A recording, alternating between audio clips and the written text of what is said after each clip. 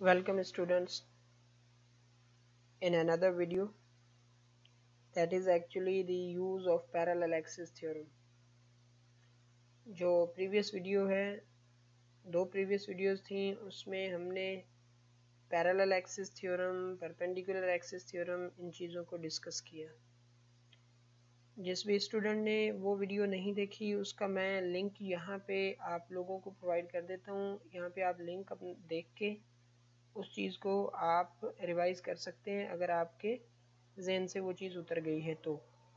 Otherwise अगर आपको वो चीज़ याद है तो इट्स क्वाइट बेटर तो यहाँ पे जो यूज़ है, इस यूज़ में हमें करना क्या है? एक एग्ज़ाम्पल सॉल्व करना है, और एग्ज़ाम्पल हमें क्या दिया गया है? कि to determine the moment of inertia of a uniform rod as shown in figure below एक यूनिफॉर्म रॉड है जिसका आपने मोमेंट ऑफ़ इनर्शिया डिटरमाइन करना है। और वो रॉड यहाँ पे आपको दिखाई गई है। लेकिन यहाँ पे फर्दर क्या बता रहा है? अबाउट इट्स वन एंड इसके एक एंड के गिर्द या moment of inertia about this axis ले लें दिस पॉइंट ले लें या दिस पॉइंट ले लें। सेंटर के अराउंड नहीं लेना। सेंटर ऑफ़ मास के अराउंड अब आपने नहीं लेना। ठीक है? Rotating about its perpendicular axis क्योंकि जो रोटेशन है वो परपेंडिकुलर एक्सिस पे है। तो आप लोगों को याद होगा कि दो वीडियोस पहले हमने एक लाइव लेक्चर लिया था, जिस लेक्चर में हमने डिस्कस किया था कि what is the moment of inertia of a rod about its centre of mass जो रॉड के सेंटर ऑफ़ मास के अराउंड मतलब ये पॉइंट जो हमने शो किया ये सेंटर ऑफ़ मास की पॉइंट शो की है। इसके अराउंड जो मोमेंट ऑफ़ इनर्शिया होता है, वो क्या होता है? वो मोमेंट ऑफ़ इनर्शिया हमने डिटरमाइन किया था, जो कि आपको डेफिनेटली याद होगा, मैं उस पर डिस्कस करता हूँ, लेकिन यहाँ पे आपको लिंक इस कॉर्नर में नज़र आ रहा है, जहाँ पे कर्सर है कर्सर के बिल्कुल नीचे आपको लिंक नज़र आ रहा होगा। अगर आप वो चीज़ देखना चाहें तो यहाँ से आप रिपीट कर सकते हैं। तो वो तो हमने डिटरमाइन कर लिया है। अब हमें पैरेलल एक्सिस थ्योरम का एग्जांपल दिया गया है कि जब भी आप स्विच करते हो सेंटर ऑफ़ मास से किसी और पॉइंट को ओरिजिन लेके।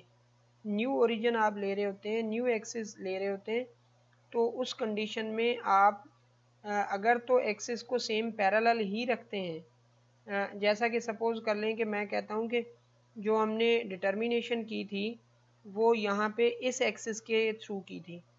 ठीक है? तो अब आप देखें कि हमने एक्सिस क्या रखा है? पैरेलल ही रखा है। ठीक है? एक्सिस हम चेंज उसकी लोकेशन चेंज कर रहे हैं एक्सेस का एक्सिस या डायरेक्शन चेंज नहीं कर रहे ठीक है जी? तो उस कंडीशन में हमें पैरेलल एक्सेस थ्योरम अप्लाई करना होगा। और पैरेलल एक्सेस थ्योरम जो है वो क्या होता है? उसकी इक्वेशन क्या होती है?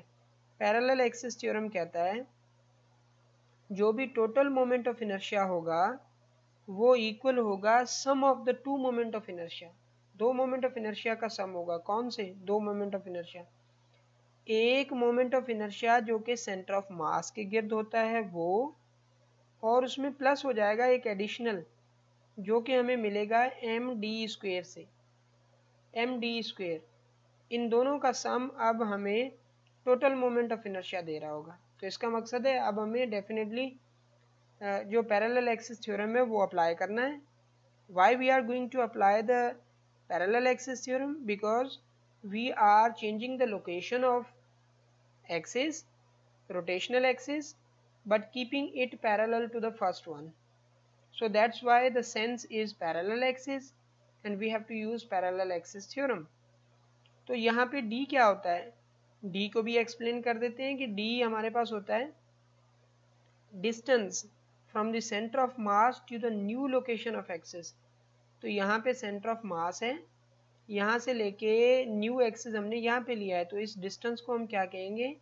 कि ये डिस्टेंस जो है हमारे पास दिस इज़ दी डी तो ये किसके इक्वल हो जाएगा? This must be half of the length of the rod जो लेंथ है, उसका हाफ़ हो जाएगा। ये आगे मैं लिख देता हूँ।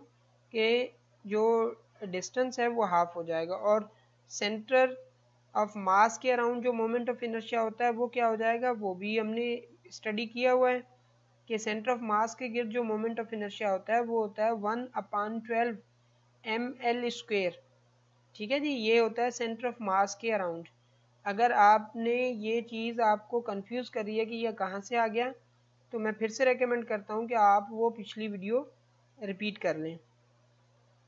और जैसा कि मैंने कहा कि डी की वैल्यू क्या है?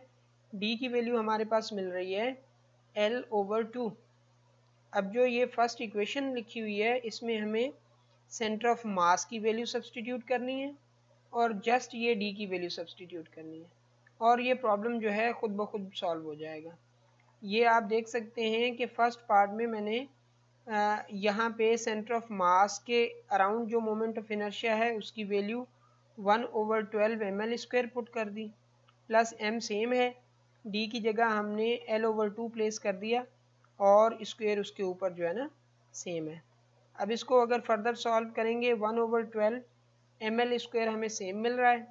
प्लस में M L square over two L over two square ये हो जाएगा एल स्क्वेयर ओवर फोर तो वो वन अपान फोर आगे आ गया और एल स्क्वेयर हमने वहाँ पे रख दिया। तो एम एल स्क्वेयर दोनों में मौजूद है इसको हम कॉमन ले लेते हैं। और ये जो दोनों आ, हमें कोफिशंट्स मिल रहे हैं वन ओवर ट्वेल्व और वन ओवर फोर इन दोनों का हम सम लेंगे। जब हम सम लेंगे तो एलसीएम के थ्रू हमें पता चलता है कि ट्वेल्व एलसीएम होगी और उसके बाद हमें मिल जाएगा इक्वेशन मिल जाएगी I is equal to one plus three over twelve into M L square तो one plus three equal to four divided by 12 is equal to 1 upon 3 so the moment of inertia is 1 over 3 ml square this is the moment of inertia of a rod about its one end जो उसके एक and चाहे right side वाला and ले लें चाहे left side वाला and ले लें दोनों के about moment of inertia same ही होगा अगर रॉड यूनिफॉर्म है तो दूसरी बात आप ये जहन में रखें अगर रॉड यूनिफॉर्म नहीं तो फिर एंड चेंज करने से मोमेंट ऑफ़ इनर्शिया चेंज होगा। लेकिन अगर एंड जो यूनिफॉर्म रॉड है in that sense there will be no difference ठीक है? तो रॉड यूनिफॉर्म कैसे नहीं होगी? रॉड यूनिफॉर्म इस तरह से नहीं हो सकती। मैं आपको यहाँ पे एक फिगर बना के दिखाता हूँ कि आपके पास जो रॉड हो सकती है वो आ, कुछ और शेप की भी हो सकती है। मतलब यूनिफॉर्म सिलेंडर ना हो, थोड़ा सा सिलेंडर जो है वो चेंज हो, इस कंडीशन में भी आपको चीज़ मिल सकती है। तो जब इस कंडीशन में मिलेगी देन आप क्या करोगे? देन आपके पास जो मोमेंट ऑफ़ इनर्शिया है वो सेम मिल रहा होगा डिफरेंट मिल रहा होगा, क्या मिल रहा होगा? ये चीज़ आप इस फिगर में, नीचे वाली फिगर में देख सकते हैं। ये देखिए। तो अगर रॉड जो है वो इस तरह से है। एक एंड उसका थोड़ा ज़्यादा वाइडर है, ज़्यादा क्रॉस सेक्शन है, दूसरे का क्रॉस सेक्शन कम है। इस कंडीशन में अगर इस एंड के अबाउट लेंगे तो और मोमेंट ऑफ़ इनर्शिया मिलेगा। इस एंड के अबाउट लेंगे तो मोमेंट ऑफ़ इनर्शिया और मिलेगा। ठीक है? तो इन दैट सेंस आपको मोमेंट ऑफ़ इनर्शिया सेम नहीं मिलना। Okay ji? So for further videos stay tuned at the smart physicist